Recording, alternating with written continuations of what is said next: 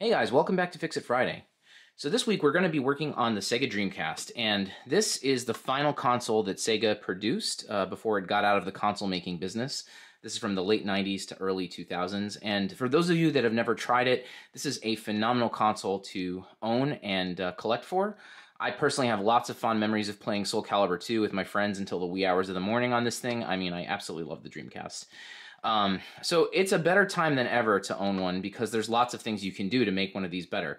So for example, on this particular unit, someone has already installed an optical disc emulator here, and this will allow you to very easily uh, play games from an SD card. So if your you know disk drive dies, it doesn't matter. You're fine. You're going to be able to play games on this using original hardware.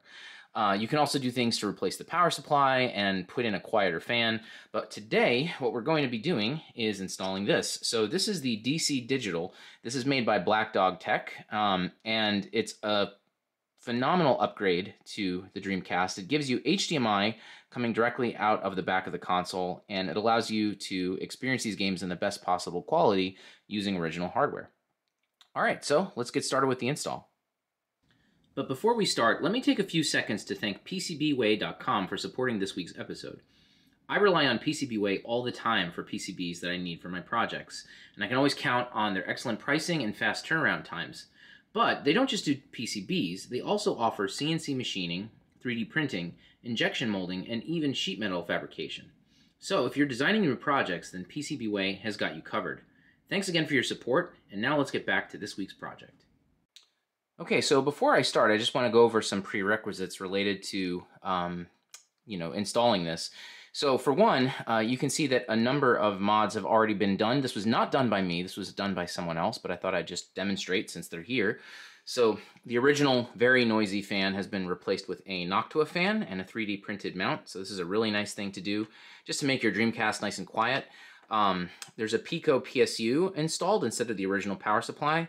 Um, I think this is a nice modification. I'm not sure if it's necessarily like a required kind of thing. The original PSU does work very well, and if you replace the capacitors on it, it's great. But I mean, all that being said, this is a very nice small form factor, and um, I certainly don't think it's worse than the original power supply. I would just say that it's, in my opinion, an optional kind of modification.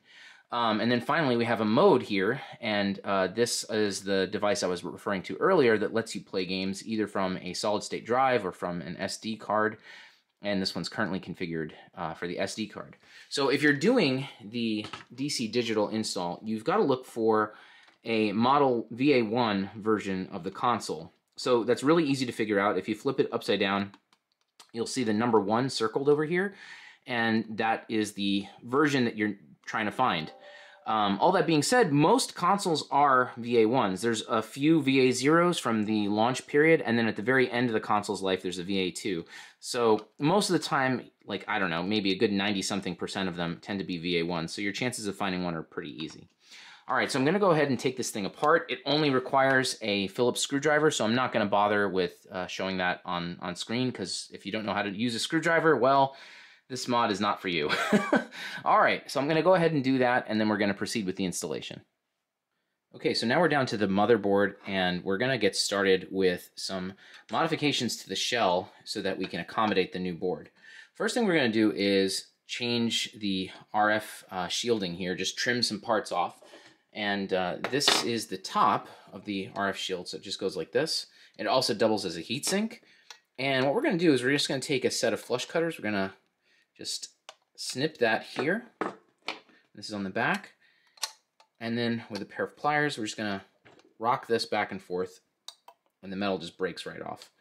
So this flex cable that comes with the kit, it's gonna route through that region. And so we just need to make space for it. And thankfully, that's all we've got to do to the top part of the RF shield. Now, we've got the bottom RF shield right here. Let me just take that out. And here we're going to remove two components as well. So this little area here we're going to remove. And that's also to make way for the flex cable. So you just very easily clip it. And then with a pair of pliers, you can just bend this flat and then rock it. And there we go, it comes right off. I'm going to use my pair of pliers and just flatten this out. This is just to prevent any sharp edges from catching the flex cable and cutting it. Should be fine though. Okay, so now we've got this large piece here we need to remove to make way for the HDMI. And just like before, we're gonna take the pliers and flatten it out.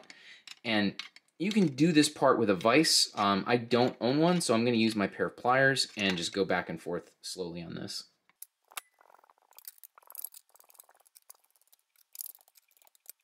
Okay, and just like before, we're going to take our pliers and just flatten this all out so that there's no pointy edges that are going to bump into anything. Okay. So now there's a little bit of work we need to do to the bottom of the shell as well. The first thing is, if you take a look down here, there's like a little nub over here. And I think this is a leftover thing from the injection molding process. And some consoles have it, some don't. Um, I think most end up having it, having it though. So we're going to go ahead and just use the flush cutters to, to trim that down.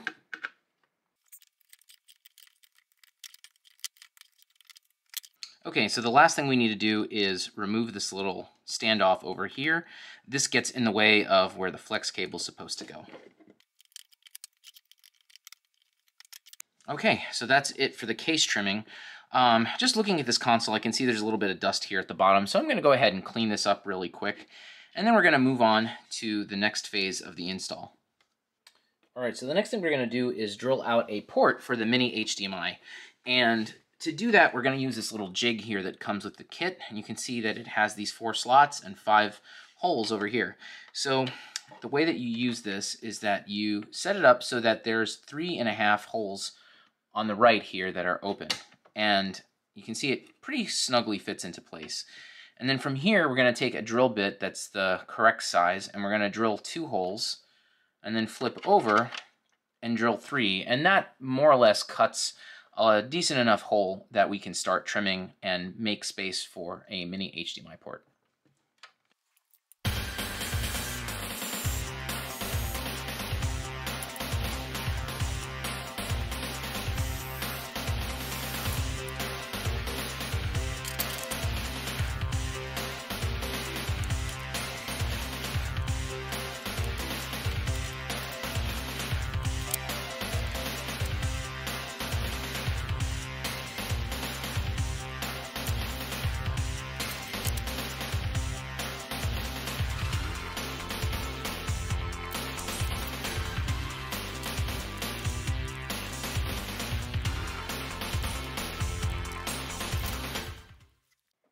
All right, so I've finished carving out the port for the mini HDMI, and you can kind of just see how it looks now.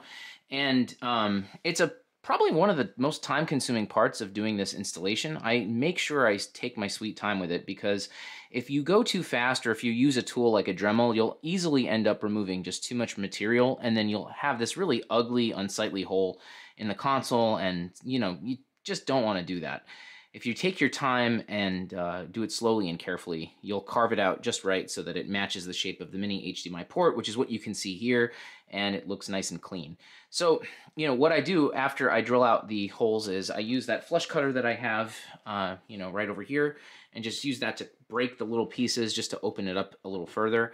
And then from there, I, I use this uh, scalpel right here just to just whittle the edges and smooth them out um, you can also use a file, and I think honestly a file is a little bit easier than using the scalpel.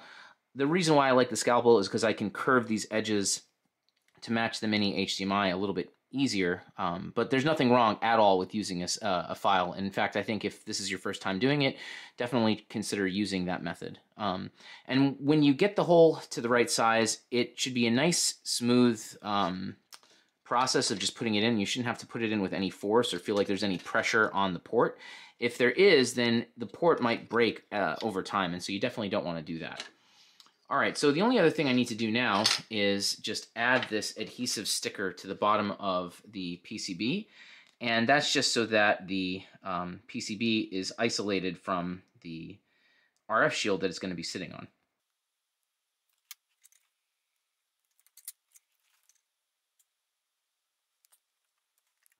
Okay, so now that the board is in place, we're going to mount it permanently to the shell.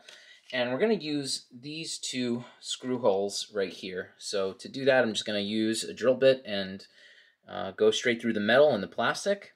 And then once I'm done with that, I'm actually going to take it out, clean all these little metal shavings so they don't make contact with anything. And then I'll go ahead and screw everything into place. All right, so now that this thing is attached to the board, or the shell rather, we're going to go ahead and attach the Wi-Fi antenna, which is just going to go right here on this little socket.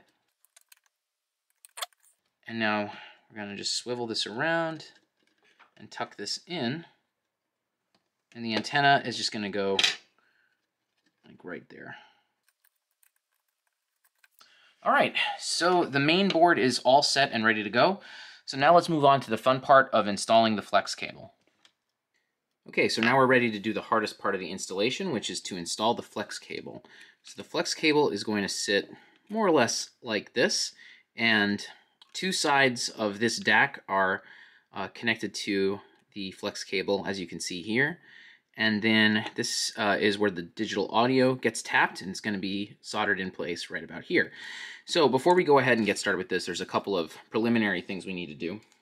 Uh, one is that we've got to remove these two surface mount resistors here, and then clean up that area with some solder braid just to make sure it's all you know clean and flat. We're also going to tin this capacitor here, and uh, we're going to be tapping in right over here as well. And then finally, I'm just going to clean up the whole area with some alcohol. So let's go ahead and get started with that.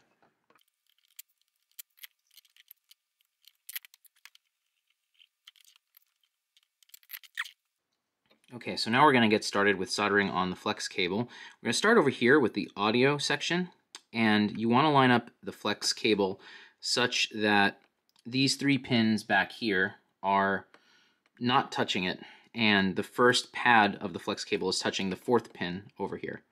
So what we're going to do is use this set of tweezers to hold the flex cable in place and I use this resistor array right here as just a nice little spot to hold things down and ensure that they're going to stay in place.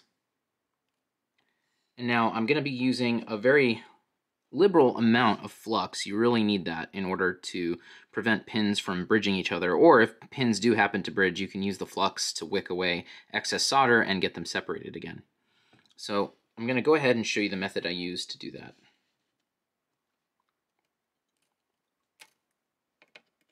Okay, so start off with a lot of flux.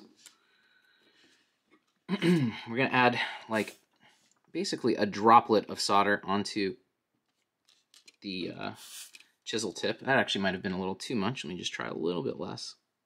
Yeah, there we go. Just a very small amount. And right now, we're just going to try to tack these guys into place.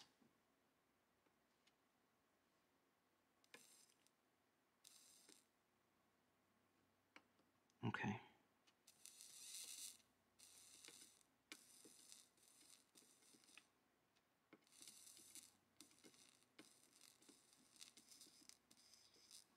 And you have to listen to the sound of the flux. And if it's getting low, you can just add a little bit more just to make sure that everything stays nice and lubricated with the flux.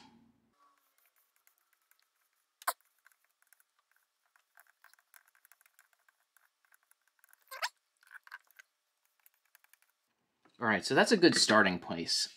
So what I'm going to do now is switch over to my binocular microscope and then just look at this closely off camera. Um, I definitely recommend that you do this with some sort of magnification because that way you can make sure that everything is lined up right and you can make sure that there aren't any bridges in between the pins. So I'm going to do that more closely. And I can also tell that some of these need a little bit more solder, like especially in this region here and here. So I'm going to go ahead and do that, and then we're going to continue on to the next step. All right, so there weren't any bridges, but I did add a little bit more solder just to make these connections stronger because some of them were kind of marginal. Um, so now that that's all set, we're going to continue doing some more soldering here. So we need to attach the flex to this little resistor here and to this open pad. There we go. And then we need to solder to these two pads. This is where those resistors were.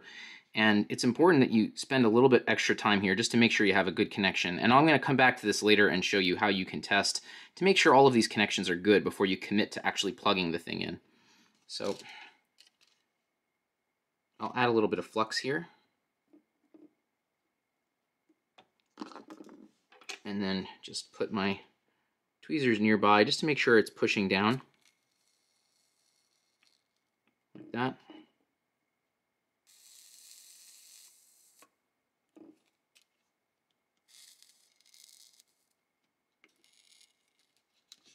Okay.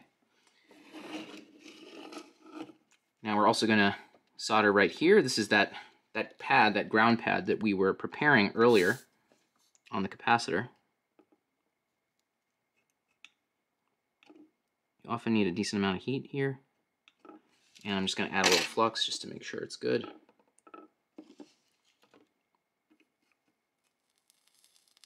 There we go. Okay, so those are all the connections on this section of the board. Now we're going to move on to the DAC and solder to this uh, chip right here. Okay, so we're going to follow the same steps as we did before. Um, it's just a little bit trickier because you've got to align things on two sides. I think this actually might be a little bit easier if you're a right-handed person because I'm finding you can just kind of position right here on the left and then come in with your right hand and solder. I unfortunately am left-handed, so this does not help me. But what I'm going to do is hold it in position here with my right hand. Um, you can also hold on to these resistor packs too. That does help. We're going to follow the same exact procedures as we did before. We're just going to add a small little droplet of solder onto the chisel tip, and we're going to work it up and down and just use an excessive amount of flux just to make sure that things don't bridge. I mean, if they do, it's fine, but you try to avoid that whenever you can.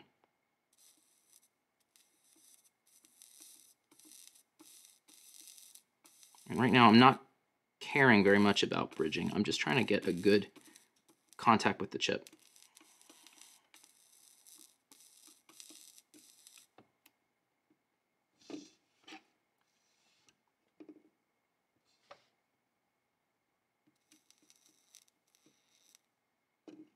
Okay.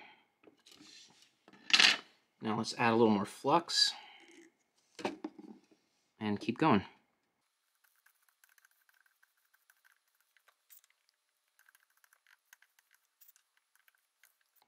Okay, and then finally I'm going to tack this side into place. All right, so everything is more or less secured, and I'm going to switch to the microscope just I did last time and make sure that everything is uh, not bridged and that there's enough solder. I, and just like before, I can tell I need more solder on a lot of pads, and there might be some bridges, but nothing major. So I'm going to go ahead and do that, and then we're going to come back and get this thing finished up. Okay, so I went over everything and there was like a tiny little bridge right over here, which I cleaned up. And like I said previously, I just needed to add solder to all these connections just to make sure that they were nice and strong. So I've gone ahead and done that under the microscope. And now we're just gonna go ahead and clean up everything with some isopropyl alcohol. I also soldered one final connection here to this resistor. That was the last thing that needed to be done.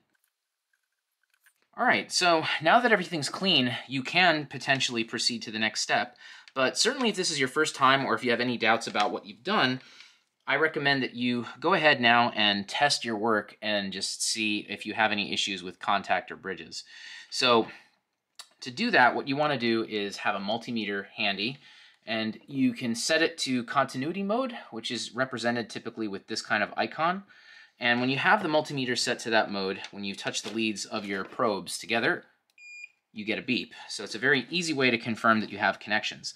So what you can do is, for example, if you want to test the connections from this chip to the flex, you can touch the legs of the um, of the chip, like say right here, for instance, and then follow the tracks and see where it's connected. And so, for example, on this particular set of pins, a lot of them are connected up to resistor packs. They're either connected to this set of resistor packs here or this one right here.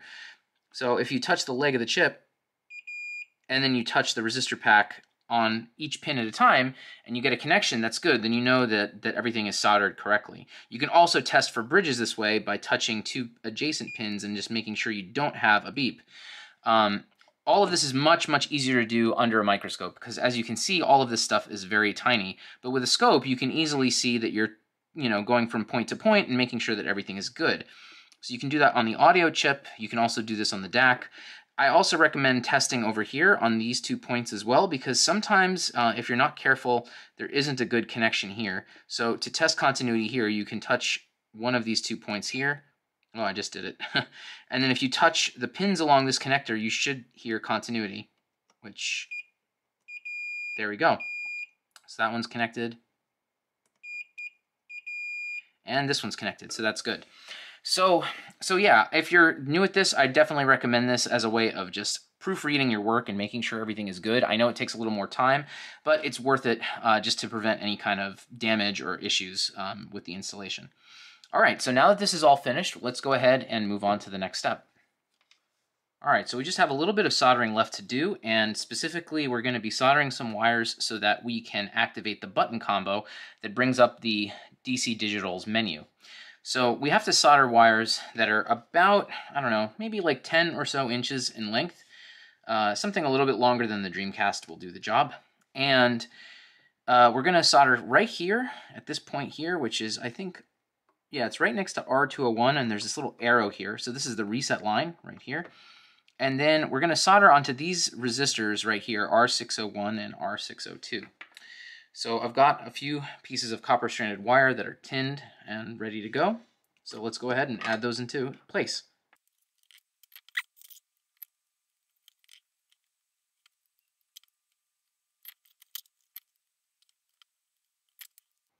Okay, so I'm going to take a piece of heat shrink tubing and pass these three wires through, and it's just for cable management purposes, just to keep everything kind of neat and together. And now we're going to go ahead and solder these three wires to the DC digital. This yellow wire here, this is the reset. This blue wire here, this is R602, and we're going to solder that onto P2 right here. And then finally, this green wire here, this is R601, and that goes to P1. Okay, so we're good to go with that.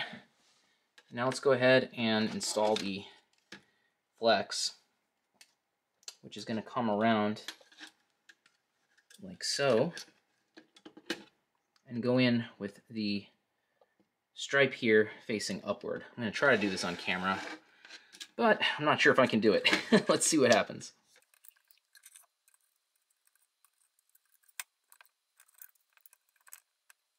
Okay, there we go. All right, so I'm going to start reassembling the console, and then we'll be back for a preliminary test to see if this thing is working.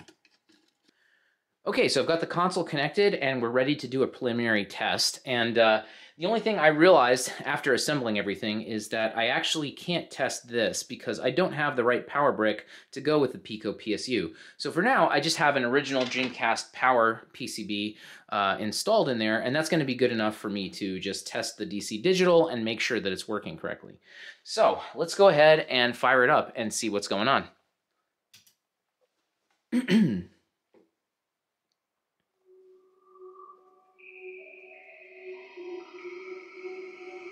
All right, well, that is definitely a good start right there. So if you boot up the DC Digital the first time, it normally boots up like this in interlaced mode. So that's pretty standard. I think it's probably in 480i if I had to guess. Um, so now let's go ahead and uh, exit the mode over here. So I believe I have to, can I do that? I'm not sure if I can. All right, well, that's fine. I can still access the uh, on-screen display. So for the DC digital, what you want to do is press X and A, and then the L and R button and start like this, and it lets you get into the um, DC digital um, menu here. And from here, we can do a bunch of stuff. We can change the resolution, so we're going to change it to 1080p. And there we go. That looks a lot better right there. Um, the other thing we can do is we're going to go into the video mode settings and we're going to force VGA. So let's go ahead and do that.